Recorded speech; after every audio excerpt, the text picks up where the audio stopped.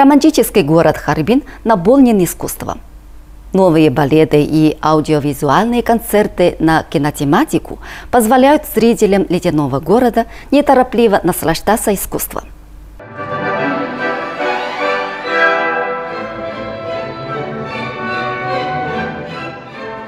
Недавно в Большом театре Харбина была поставлена новая версия большого балета «Щелкунчик».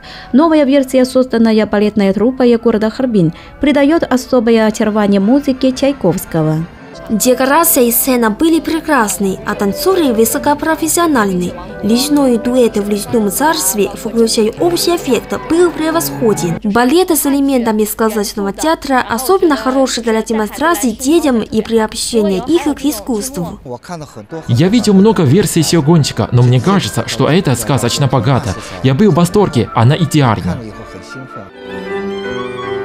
Вариация на тему «Хетвик» открыла аудиовизуальный концерт на тему Гарри Поттера в театре «Глобус» города Харбин. В дополнение к тематической песне из фильма «Гарри Поттер» был выбран ряд классических тематических песен из фильмов и мультфильмов, таких как «Холодное сердце» и так. Постоянное новаторство, попытки найти новые способы выражения в музыке. Это особенно хорошо, интересно. Я посмотрела фильм «Гарри Поттер». Знаю сюжет, могу слушать и следить за сюжетом. Это очень захватывает. В таком музыкальном городе, как Харбин, поход на концерт – это способ приятно расслабиться.